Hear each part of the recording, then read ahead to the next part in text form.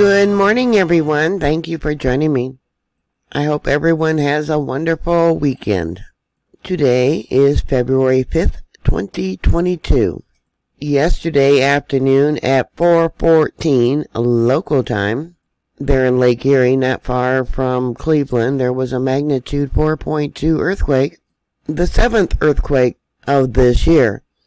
Ohio normally only gets about one earthquake a year but of late that's been changed. Um, evidently, according to USGS, these are all aftershocks of an earthquake of a magnitude 4.0 that occurred in 2019. Why don't they just say it was aftershocks from the 2011 earthquake, which was a 4.2? According to geologists, about every 10 years there in Ohio, there will be an earthquake of a magnitude 4.0 or greater. Past earthquakes were on February 1st, a magnitude 1.6. January 29th, a 2.0. On January 27th, a magnitude 2.7 and a 2.5. January 5th, a 1.9. And January 4th, a magnitude 2.8. There is no tectonic plates in this area to be causing earthquakes, but there is ancient fault lines because at one time this area was going to divide up in half, rip apart, and allow the oceans to come in and create two actual separate bodies of land. And that would be the mid-continent rift system probably hard to see right here. I got so many um, data put on the map, but it's the red line here. Or part of it's the red line. It is the largest failed rift system ever discovered. On physics.org, they got the original uh, traditional mid-continent rift system, but then using ground penetrating radar, it was revised.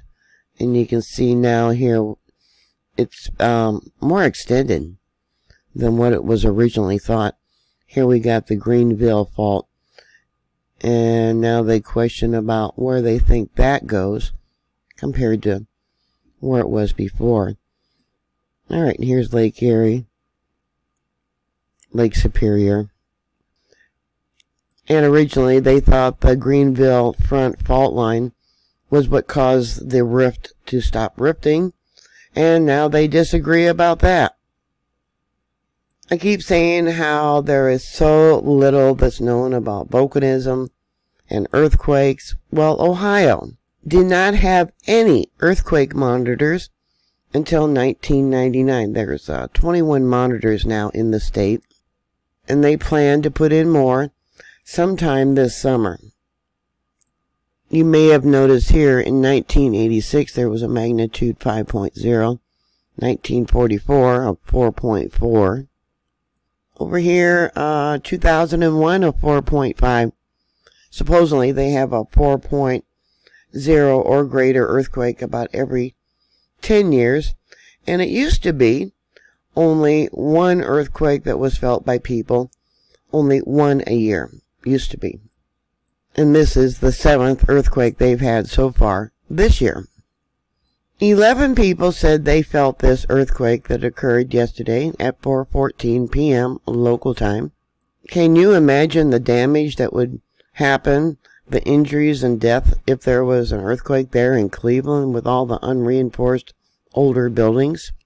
They gave it an intensity level of 3 here, which means it was felt quite noticeably by those 11 people indoors, especially if they were on the upper floors of a building.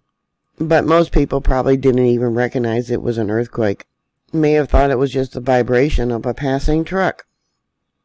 Might have been strong enough for people to realize what direction the earthquake came from.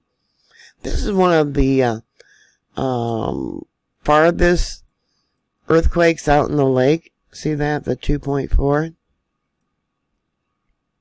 USGS does not have a moment tensor ball, but if you look at the earthquakes, yeah, there's probably a fault throughout here.